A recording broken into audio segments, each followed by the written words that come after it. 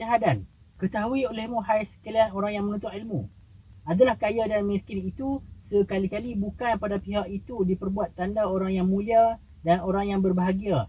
Kerana miskin dan kaya itu datang ia daripada orang yang mulia dan datang ia kepada orang yang hina dan datang ia kepada orang yang cerdik dan datang ia kepada orang yang bodoh dan datang ia kepada orang yang baik-baik dan datang juga ia kepada orang yang jahat-jahat.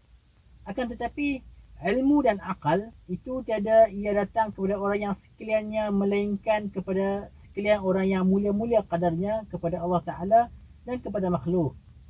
Dan tiada orang yang kaya itu bo- boleh mudah mendapat ilmu dan akal akan tetapi terkadang mudah bagi orang yang berakal dan berilmu itu mendapat ke- kekayaan daripada sebab kelebihan ilmu dan akal itu juga adanya.